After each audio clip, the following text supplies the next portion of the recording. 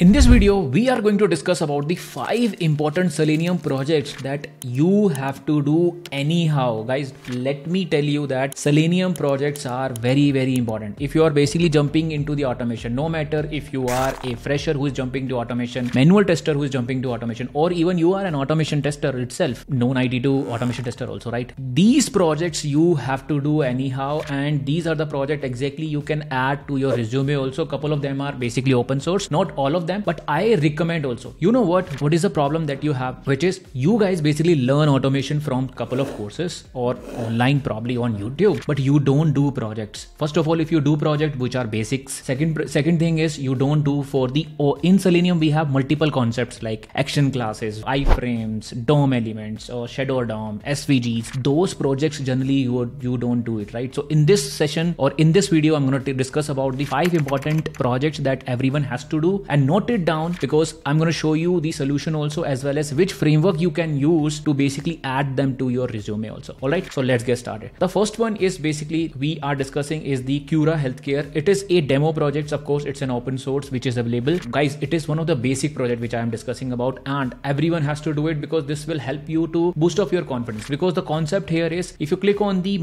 make appointment button, right? Let me show you right you just to have to enter the username and password right and click on this. So what are the concepts that you will learn in this case? Okay concepts are basically you will learn about selenium the xpath xpath css selector xpath axes xpath functions drop down right radio boxes how to handle calendar element how to handle this booking. So for example if i enter the collector elements you can verify create a 10 test cases and start automatic now question is Pramod but how do we automate? How do we start automation? Okay so if you are working with java i think we have already created a atv for atv uh, selenium automation framework. You can take a help from this link will be in the description. So make sure you like the video and give us a comment. Give me yes in the chat so that i can add this all these links that you are going to see into a pinned comment. All right? So give me yes in the chat quickly right now. Give me thumbs up so that other people can also get benefit from this okay? And if you are working with python but what about python Pramod so python yes uh, automation framework is already ready for python page object model. You can use it. You can basically add it to your resume. The same framework you can use for this. Now the second important one which i really love is Orange HRM. This is a open source project. You will find the details. If you want these details, let me know. Pinned comment again, it will be available. I have installed it into my system also. You can create your version also. If you log in right, the one of the important concept here is that in the Selenium, which is web tables, how to handle different kinds of web tables, how to handle notification, alerts, pop-up, JavaScript executor. Most of these concepts that I have discussed in my Selenium notes also, right? All these concepts are handled. So how to handle alert, handling alert checkboxes, web table are most important concepts concepts which are covered in the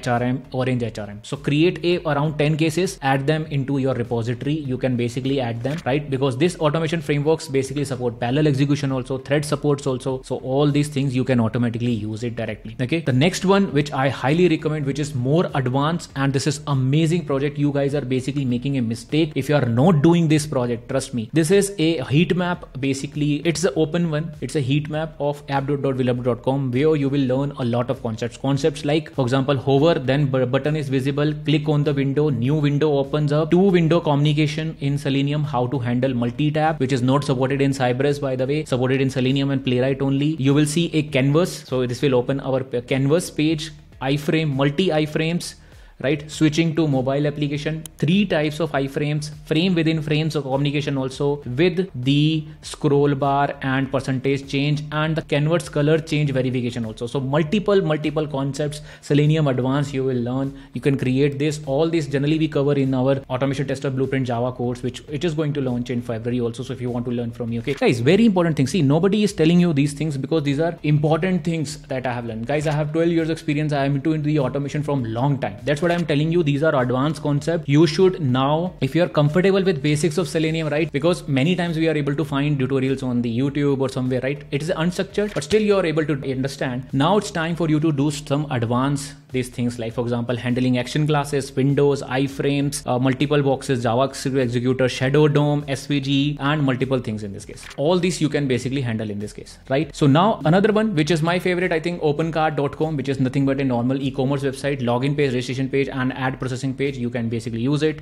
If you want the description, if you want the username password for this, let me know in the yes. Just type yes in the chat and pinned comment and give me a like. 100 likes the moment we have, uh, I will add all the details into this, right? So I hope this makes sense. So all these projects like one project, second project, third project, fourth project, and fifth project, five important projects I have already told you. These are the two repositories which I you can use for Python as well as for Java. Guys, what is the reason now? I hope you now have a concrete resume with you where you have a knowledge, you have done everything right. I'm pretty much sure you are you will feel more confident as a automation tester. Thanks for watching. I hope this helps. This is your host Pramod and please give it a like and share this video if it's someone helpful who needs this kind of information related to projects, who's searching for projects, right? Please share this video with them. Thanks a lot. Bye bye. I'll see you in the next video.